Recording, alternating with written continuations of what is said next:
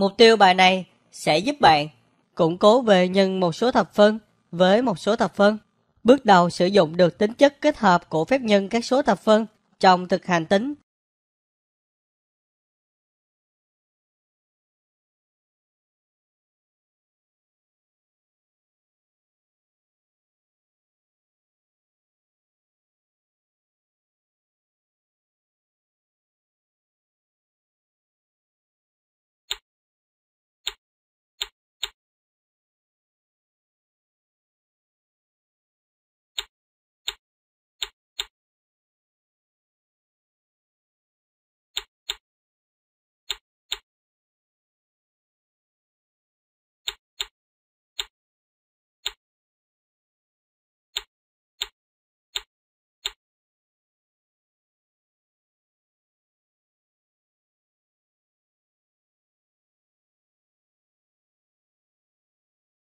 Đúng rồi, bạn giỏi ta lắm. nhận xét phép nhân các số thập phân có tính chất kết hợp.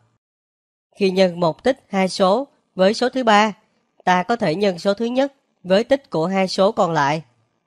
A nhân B trong ngoặc nhân C bằng A nhân B nhân C trong ngoặc.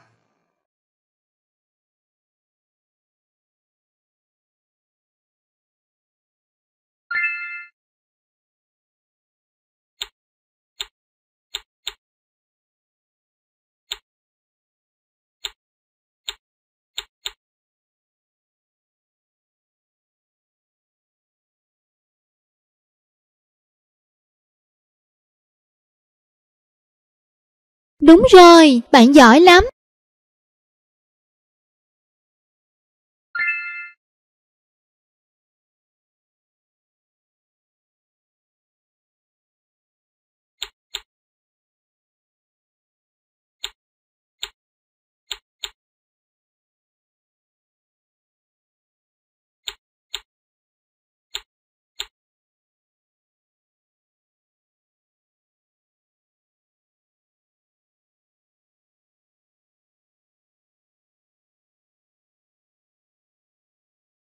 Đúng rồi, bạn giỏi lắm.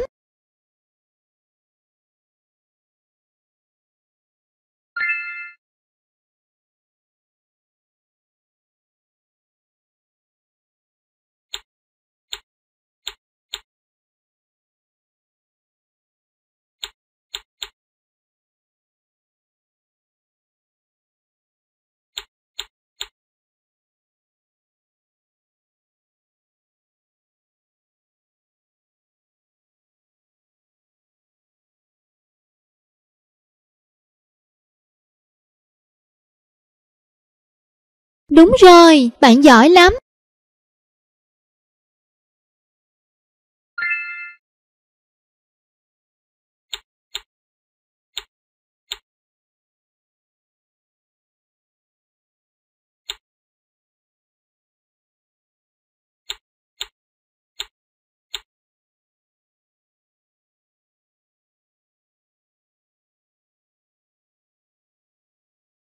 Đúng rồi, bạn giỏi lắm.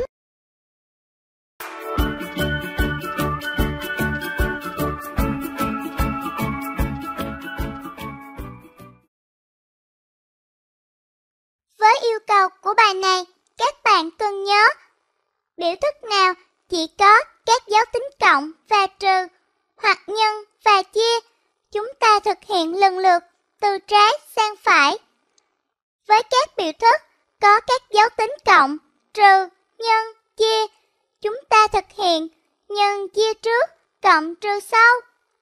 Với các biểu thức có chứa dấu ngoặc, chúng ta thực hiện trong ngoặc trước, ngoài ngoặc sau.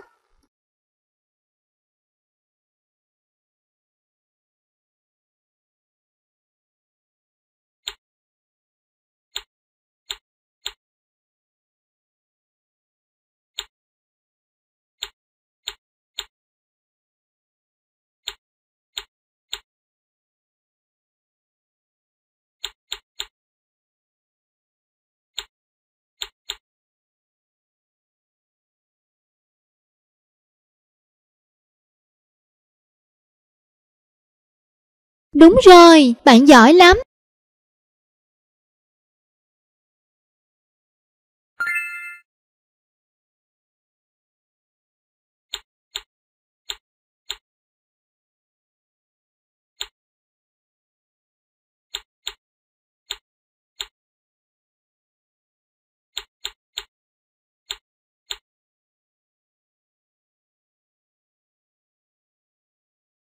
Đúng rồi, bạn giỏi lắm.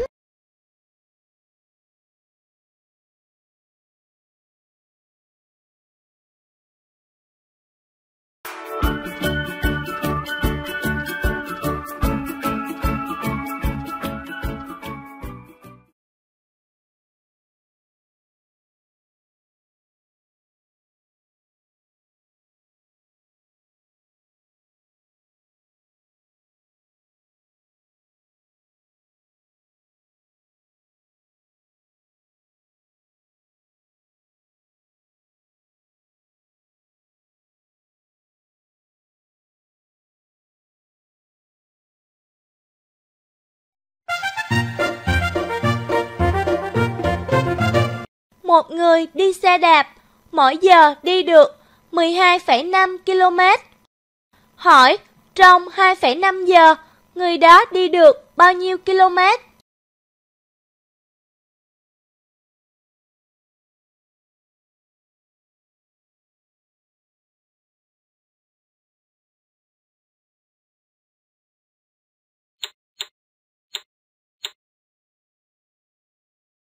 Đúng rồi, bạn giỏi lắm.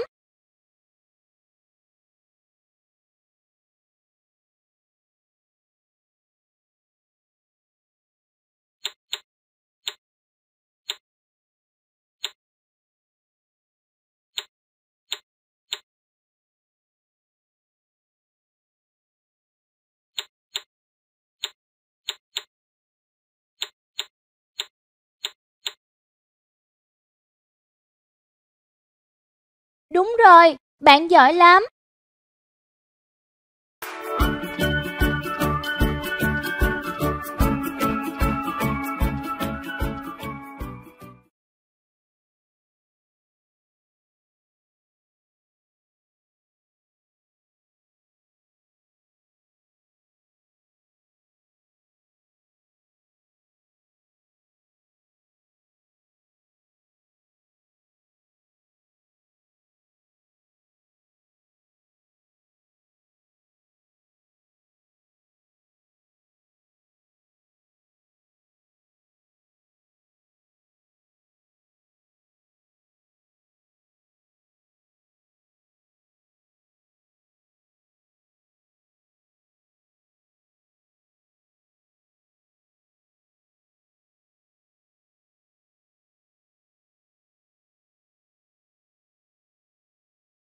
Ba người bạn cùng chia nhau một số bi. Bài thứ nhất, lấy 1 phần 3 tổng số bi. Bài thứ hai, lấy 3 phần 7 tổng số bi. Bài thứ ba, lấy phần còn lại và được ít hơn bài thứ nhất 4 viên bi. Vậy tổng số bi của ba bạn là bao nhiêu?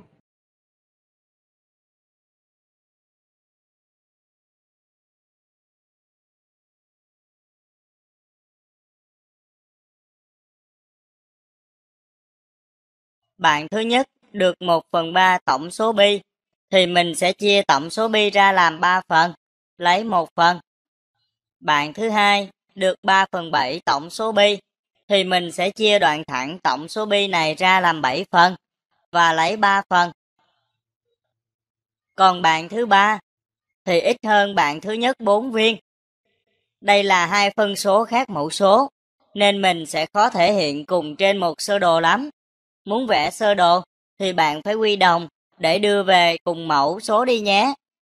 Sau đó, bạn vẽ ra sơ đồ rồi sử dụng dữ kiện ít hơn 4 viên để giải tiếp đi nhé.